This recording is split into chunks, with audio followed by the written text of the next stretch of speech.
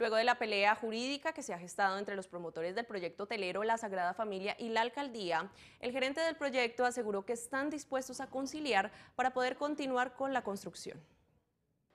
El Tribunal Contencioso Administrativo del Valle negó las pretensiones de la empresa Gerosas, promotor del proyecto hotelero en la Sagrada Familia, en segunda instancia y última. Ellos lo que buscaban era que la administración les aprobara las modificaciones a la licencia que ordinariamente se le había otorgado para el proyecto La Sagrada Familia.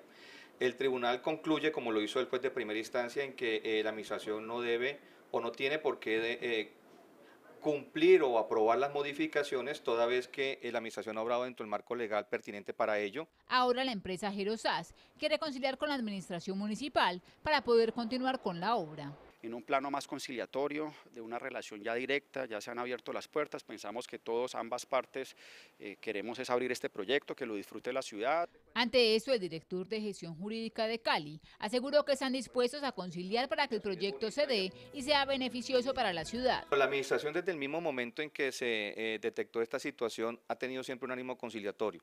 Esta administración siempre ha considerado que eh, todo problema tiene una solución y en esa medida siempre hemos estado dispuestos para ello. Desde el punto vista técnico, eh, lo más recomendable es eh, sentarnos, buscar los canales de comunicación para mirar qué se puede de pronto corregir de ese proyecto para que pueda salir adelante. Los promotores esperan terminar las obras este año y poder abrir el hotel y centro comercial. Por otra parte, el proceso legal continúa su curso.